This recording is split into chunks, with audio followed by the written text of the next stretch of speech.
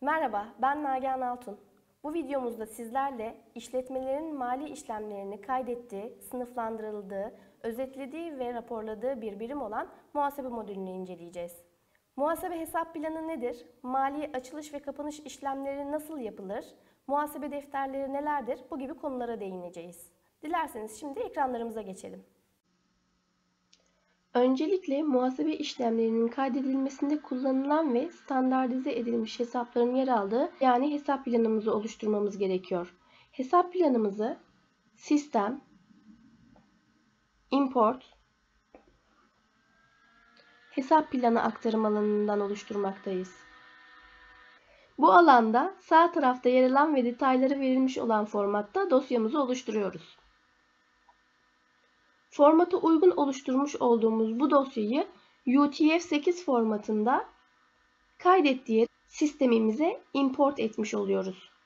Türkçe karakterlerde sıkıntı yaşamamak adına UTF-8 formatında olmasına dikkat etmemiz gerekiyor. Sisteme import ettiğimiz hesap planımızı arama butonuna hesap planını yazarak görüntüleyebilmekteyiz.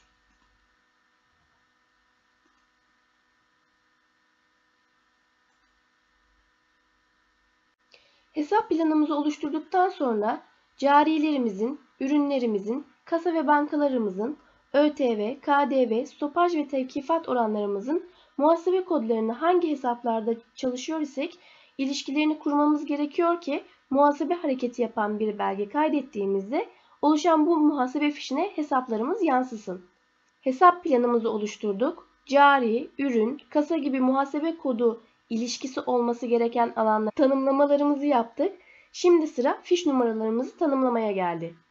Fiş numaralarımıza arama butonuna fiş numaraları yazarak ulaşıyoruz.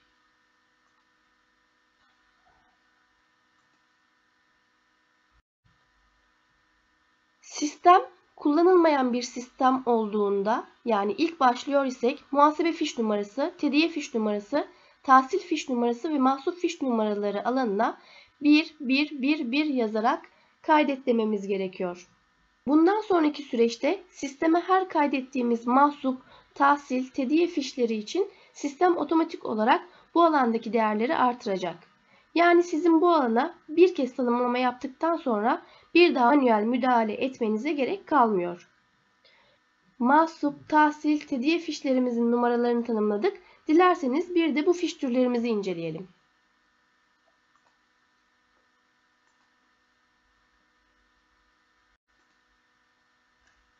Mahsup fişi kasa hesabını ilgilendirmeyen işlemler için kullandığımız fiş türüdür.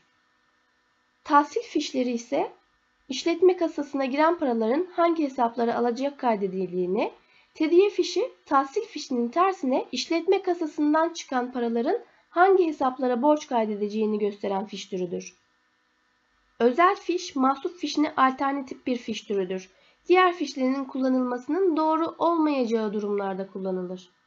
Gelelim mali yılın açılış ve kapanışlarını yaptığımızda kullanmış olduğumuz fiş türlerine. Açılış fişi önceki dönemde yer alan hesap bakiyelerin yeni yıla aktarılma sonucu oluşan fiş türüdür. Açılış fişi aktarılmadan kapanış fişinin oluşturulmaması gerekiyor. Aksi takdirde yeni dönemimize hesap bakiyeleri gelmez. Sistemimize 2019 yılı için kaydetmiş olduğumuz açılış fişini görmekteyiz. Kapanış fişini ise bir önceki dönemimize geçerek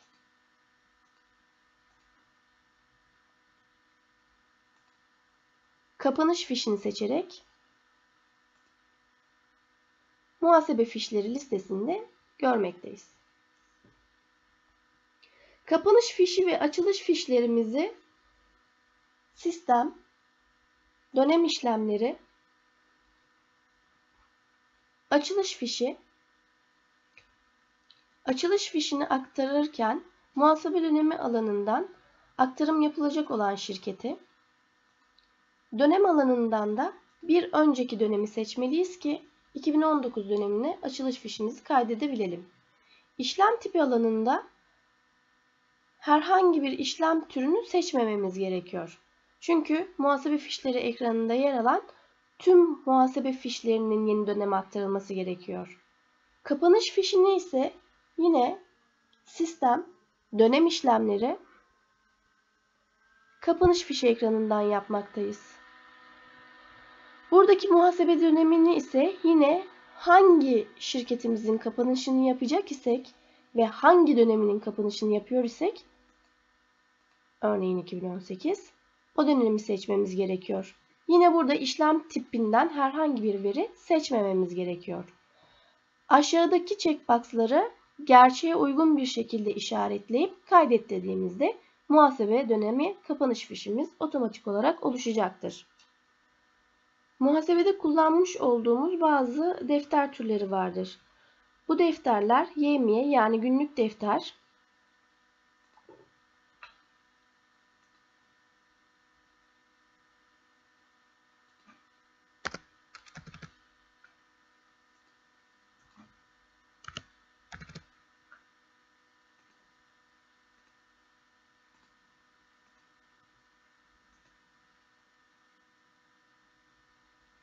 Ticari işlemlerin belgelere dayanarak tarih sırası ile maddeler halinde kaydedildiği defterlerdir. Muavin ise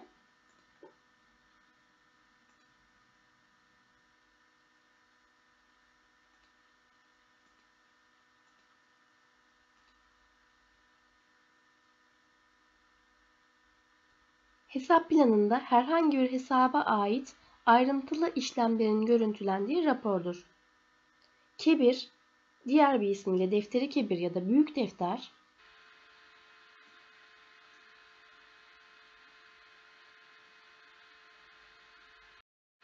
YM defterinde var olan işlemlerin sistemli bir şekilde ilgili olduğu hesaplara dağıtan ve sıralı olarak bu hesaplarda toplayan defterdir. Bu videomuzda sizlerle muhasebe fişleri nelerdir, ne amaçla kullanılır, mali açılış ve kapılış işlemleri nasıl yapılır, muhasebe defterleri nelerdir, hesap planı nasıl import edilir bunları öğrenmiş olduk. İzlediğiniz için teşekkürler.